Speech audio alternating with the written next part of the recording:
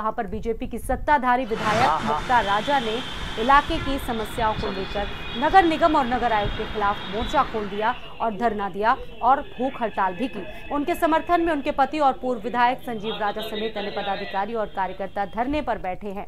पानी सड़क गंदगी और अन्य समस्याओं को लेकर वो एक दिवसीय भूख हड़ताल पर अब चले। शहर की सफ़ाई और पानी की समस्या। अभी उसका जवाब आया लेकिन समाधान कोई नहीं हुआ।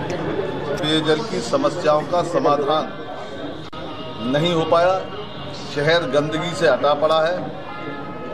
सफ़ाई की कोई व्यवस्था नहीं है। रात्रि को पथ प्रकाश की कोई व्यवस्था नहीं है। जहाँ तक शहर में समस्याओं की बात है तो उसके लिए नगर निगम के सारे प्रयास इस समय जारी हैं। उन लोगों का हेल्पलाइन नंबर भी इशूड है और जो बेस्ट हो सकता है नगर निगम वो कर रहा है। बट जो हल्की फ्रिक्शन बनी हुई है, उसको भी दूर किया जाना आवश्यक है। तो उसके लिए हम लोग प्रयासरत हैं और मैं मानता हूँ कि एक दो दिन में हम लोग इसको इसको रिजॉल्व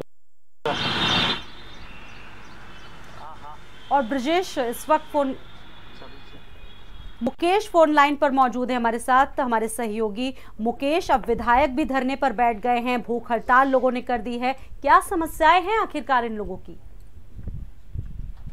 स्वाति सबसे पहले ये बता दें ये देखिए सत्ताधारी विधायक को अगर धरने पर बैठना पड़े हम्म। वो भी टू पॉइंट ज़ीरो योगी सरकार के विधायक को जी पाँच साल पहले सरकार चली दोबारा एक और सरकार जो लागू हुई है हम्म। और अब विधायक को धरने पर बैठना पड़ रहा है जबकि शासन से जो धनराशि जो लागू की जाती है जो प्राप्त की जाती है नगर निगम को वो शासन से ही मिलती है और सत्ताधारी विधायक को अगर धरने पर बैठ बैठना पड़ रहा है कहीं ना कहीं पूरा पूरा पूरा का पूरा राजनीतिक मामला है।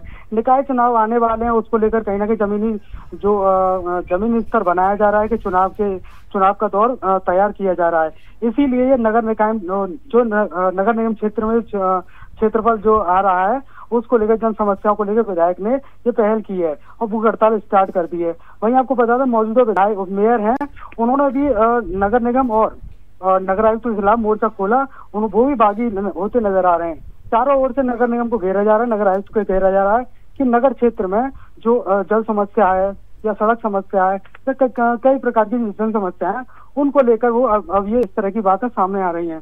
हालाँकि फ़िलहाल सत्ताधारी विधायक जो है धरने पर बैठी हुई हैं एक दिवसीय धरना है। वहीं कमिश्नर से बात की हुई तो उनका ये कहना है कि नगर निगम की ओर से अधिकतर कार्य किए जा रहे हैं और जो भी कार्य नहीं हो पा रहे हैं उनको भी जल्दी पूर्ण कराया जाएगा। जी। जी। शुक्रिया इस जानकारी के लिए, मुकेश आपका। तो मेयर भी इससे पहले मोर्चा खोल चुकी है और अब आपको बता दें कि सत्ताधारी दल के विधायक खुद ही धरने पर बैठ गई हैं और नगर आयुक्त के खिलाफ मोर्चा उन्होंने खोल दिया है।